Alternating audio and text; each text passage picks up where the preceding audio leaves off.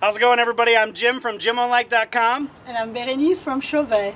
And we're here to tell you about ALS, or Lou Gehrig's disease. This is a terrible disease that imprisons people in their own bodies. And we're here with Team Chauvet and Jim on Light to talk about ALS and to make aware the entire world about how this needs to stop.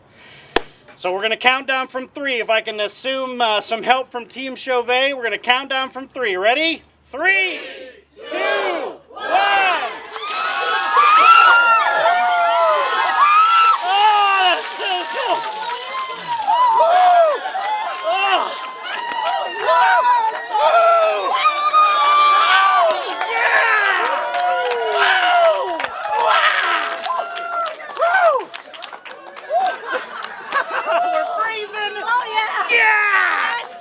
right, now it's time. We got to nominate. I'm nominating Richard Belliveau from High End Systems, George Masek, Albert Chauvet. Albert Chauvet! Yes! Bob Gordon from ACT.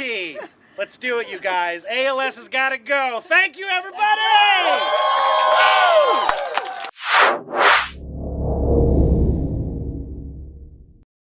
Three, two, one, zero.